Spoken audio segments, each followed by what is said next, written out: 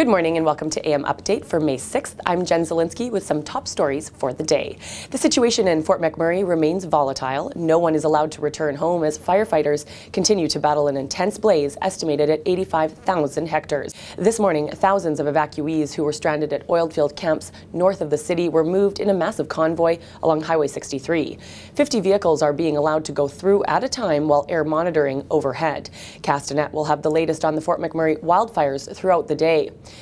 Here in BC, our northern communities are also dealing with an extreme wildfire risk. Two blazes in the Prince George Fire Centre that were previously identified as the Beatton Airport Road Fire and the Stoddart Road Fire have combined. As a result of this fire, the Alaskan Highway, Highway 97, has been closed 45 kilometers north of Fort St. John in both directions.